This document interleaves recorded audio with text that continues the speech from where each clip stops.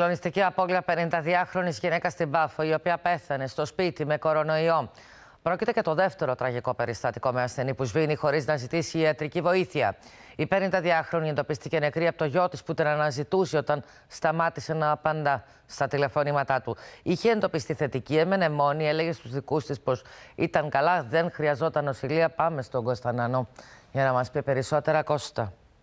Καλησπέρα, Εμιλία, κυρίες και κύριοι. Ε, στάθηκε μοιραίο το γεγονός ότι η 52χρονη δεν εμβολιάστηκε και υποτίμησε τα συμπτώματα και τις συνέπειες από την μόλυνση της Εμιλία. Δεν ζήτησε ιατρική βοήθεια παρά το γεγονός ότι τις τελευταίες ημέρες είχε πιο έντονα συμπτώματα βήχα και πόνος στο στήθος παρά, και παρά τις παρενέσεις συγγενών και φίλων να επισκεφθεί γιατρό δυστυχώς αρνήθηκε με αποτέλεσμα να χάσει τη ζωή της. Η νεκροψία σήμερα που διενεργήθηκε κατέδειξε ότι υπήρξε πνευμονία βαριάς μορφής πνευμονία. Οι ιατροδικαστές έλαβαν δείγματα για ιστοπαθολογικές εξετάσεις και το περιστατικό θα διερευνηθεί περαιτέρω. Δεν έχει γίνει μέχρι στιγμής καμιά καταγγελία, δεν είχε ζητήσει βοήθεια από το νοσοκομείο, δεν υπάρχει σχετικός φάκελος και όλα δείχνουν ότι δυστυχώς πέθανε μόνη της και αβοήθητη γιατί υποτίμησε τον κίνδυνο από τη μόλυνση.